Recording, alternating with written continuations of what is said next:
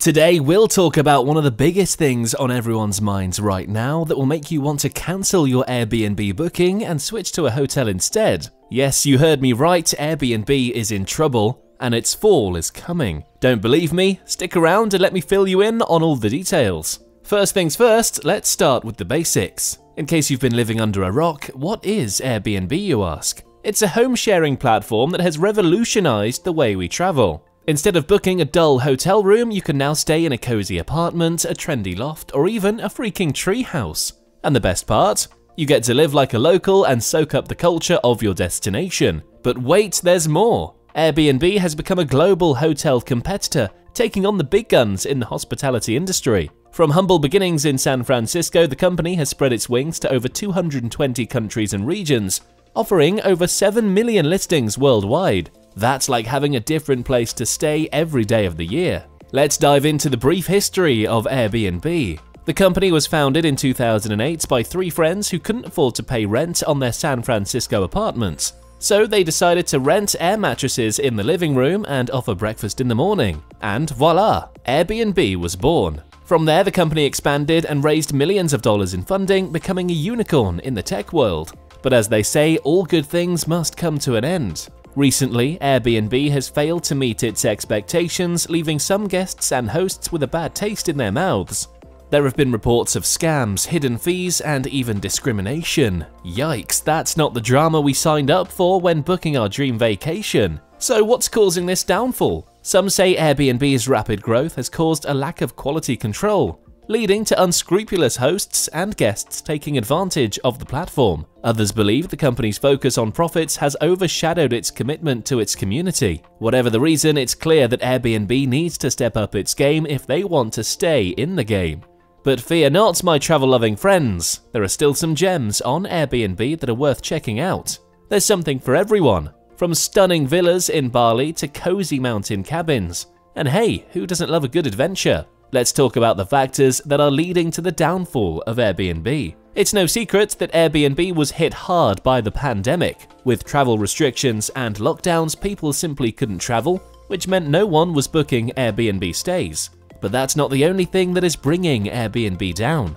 The company's over-reliance on venture capital and constant expansion without regard for regulations were also significant contributors to their downfall. Remember how Airbnb used to be more efficient? Well, those days are long gone. The platform has become increasingly cluttered with unnecessary features, making it slower and cumbersome. Even more, the platform's dwindling state is causing more harm than good to hosts and guests alike. Let's discuss why Airbnb fees might not be a better hotel booking option. Airbnb's cleaning fees have skyrocketed to outrageous amounts recently, costing just as much as booking a hotel. These hidden fees have left a sour taste in customers' mouths, which does not favor Airbnb's image. Ladies and gentlemen, it's time to spill some tea. Let me tell you, it's a doozy. We all know that Airbnb was the ultimate get-rich-quick scheme. People were opening their homes left and right, hoping to cash in on the tourism boom, and for a while it worked. But then the problems started piling up like dirty dishes. First, there were the cleaning fees. Oh, the horror! People were charging more for a cleaning fee than a night's stay. It was like they were trying to make up for their messy guests in advance. But you know what? As bad as those cleaning fees were, they weren't even the worst part.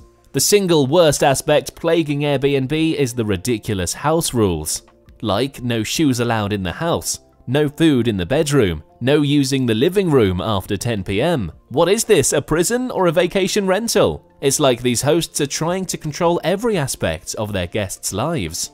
They want to make sure you're following their rules to a T, or they'll give you a bad review faster than you can say, I thought this was supposed to be a vacation. And let's not forget about the hosts who spy on their guests with hidden cameras. That's a whole other level of creepy. But how did we get here? Well, let's take a trip down memory lane. When Airbnb first started, it was a game changer. You could stay in someone's home for a fraction of the cost of a hotel and experience the city like a local. It was a win-win. But then people started getting greedy. They started opening multiple properties, hiring cleaning services to handle the mess, and jacking up prices. Suddenly, it wasn't about sharing your home with travelers anymore. It was about making as much money as possible. And that's when things started to go south. Guests were no longer treated like guests, they were treated like a nuisance. a necessary evil to put up with to get those sweet, sweet Airbnb dollars. The more the experience became like staying at your grandma's house. Except for your grandma probably wouldn't charge you a cleaning fee or have a hidden camera in the bathroom. So, what's next for Airbnb? It's hard to say.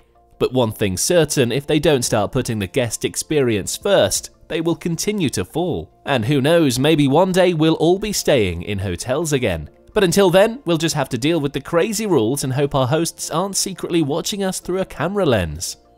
Oh, let's not forget to talk about the elephant in the room Airbnb's monopoly. Airbnb is the top dog in the short term rental industry. They've dominated the market for years, and while it might seem like a good thing for them, it's their downfall. Why, you ask? Well, let me tell you. The thing about monopolies is that they tend to get too comfortable at the top. They start to get lazy and complacent and they stop innovating. And that's exactly what's happening with Airbnb. While other players in the industry are coming up with new and innovative ways to improve the short term rental experience, Airbnb is sitting on its laurels, counting its cash and not doing much else. They're not investing in new technologies, they're not improving their customer service, and they're not even bothering to fix the problems that have been plaguing their platform for years. But that's not even the worst of it. Airbnb's monopoly is also causing them to lose the trust of its users. When a company has a monopoly, they have all the power. They get to make the rules, and they get to decide what's best for their users. And that's precisely what Airbnb has been doing. They've been making decisions that benefit themselves rather than their users. They've ignored complaints from hosts and guests and treated their customers like they're disposable. And guess what? People are starting to notice. Ultimately, the downfall of Airbnb is not caused by any external factor, but by the greed of its hosts. Yes, you heard that right. The very people who made Airbnb a success are now bringing it down. Let's take a moment to appreciate the irony here. Airbnb was built on the idea of sharing your space with strangers and making some extra cash on the side. But over the years, some hosts have become downright greedy. They're no longer content with just a side hustle, they want to make a fortune off Airbnb. These hosts have turned their homes into full-time Airbnb rentals, kicking out long-term tenants and causing a housing crisis in some cities. They also charge outrageous prices, with some listings costing more than a luxury hotel room. Let us pretend to ignore the hidden cleaning and service fees that are tacked onto every booking. But here's the kicker Airbnb is not just losing its charm, it's losing its loyal customers. People are tired of being ripped off and ruining their vacations by greedy hosts. They're also concerned about the impact of Airbnb on local communities. The rise of alternative home sharing platforms like Vrbo, Booking.com, and Homestay is not helping Airbnb's case either. These platforms offer more affordable options and are more transparent about their fees. Plus, they don't have the negative reputation that Airbnb now has. So, what's the future of Airbnb? Unless they can rein in their greedy hosts and restore trust with their customers, it's not looking good. As they say, what goes up must come down, and for Airbnb, that fall might just be a little too steep. In essence, Airbnb's downfall is not caused by external factors like the pandemic or economic downturns. It's caused by the greed of its hosts, who are charging outrageous prices, evicting long term tenants, and ruining people's vacations. And unless Airbnb can address these issues, its future is uncertain. So if you're planning a trip soon, maybe consider one of the alternative home sharing platforms instead. Trust me, your wallet will thank you. Alright guys, the verdict is in. Is Airbnb going to fail? The answer is a resounding no. Before you start packing your bags and booking your next vacation rental, let me explain why. Firstly, let's talk about numbers. Airbnb has been growing steadily year over year, and its IPO in 2020 was hugely successful. Despite the pandemic, they've adapted and even thrived in the current climate. In fact, according to recent reports, Airbnb's revenue has increased by over 30% in the last quarter alone. That's some serious growth. Secondly, Airbnb's business model is unique and innovative. Unlike traditional hotel chains, they don't own any properties themselves. Instead, they rely on their hosts to provide the accommodations. This means that they have low overhead costs and can offer competitive prices to their customers. Plus, the personal touch of staying in someone's home is a huge draw for many travelers.